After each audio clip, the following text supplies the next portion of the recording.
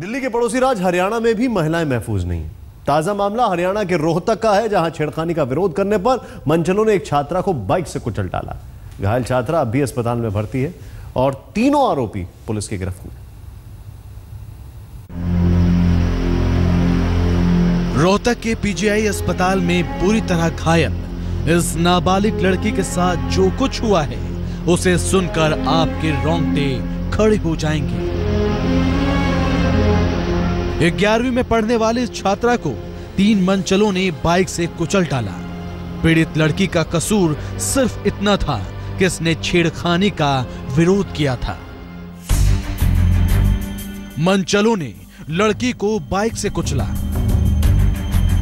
अब तक किसी आरोपी की गिरफ्तारी नहीं।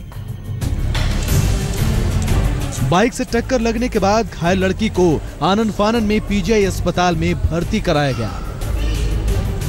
लड़की को जहाँ चेहरे पर काफ़ी चोटें आई हैं वहीं हाथ भी टूट गया है। छेड़खानी करते थे आपके साथ? हाँ।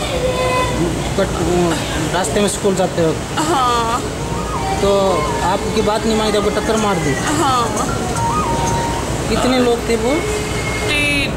हैरानी की बात तो ये है कि पीड़ित परिवार से शिकायत मिलने के बाद भी दो दिन तक पुलिस हाथ पर हाथ धरे बैठी रही।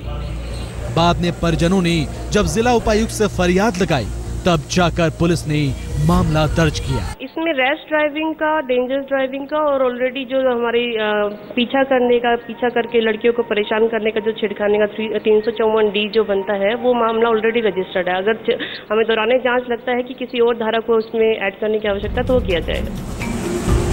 पीड़ित लड़की पाकसमा गाँव में स्थित राजकीय सीनियर सेकेंडरी स्कूल की छात्रा है और तीनों आरोपी भी उसी गाँव के रहने वाले हैं। स्कूल जाने वाली ये लड़कियाँ छेड़खानी की इन घटनाओं को पुलिस या फिर घर पर सिर्फ़ इसलिए नहीं बताती थी कि कहीं उनका स्कूल ही न बंद हो जाए। बस इसी बात का फ़ायदा रोहतक पुलिस उठा रही है और कह रही है कि उन्हें तो पता ही नहीं था, यही वजह है कि यह वारदात हो गई। लेकिन पुलिस के पास इस बात का जवाब नहीं है कि आखिर स्कूल के आसपास पुलिस की गश्त क्यों नहीं थी। सुरेंद्र सिंह और कैमरामैन हेमंत के साथ हिमांशु मिश्रा, रोहतक, आज तक।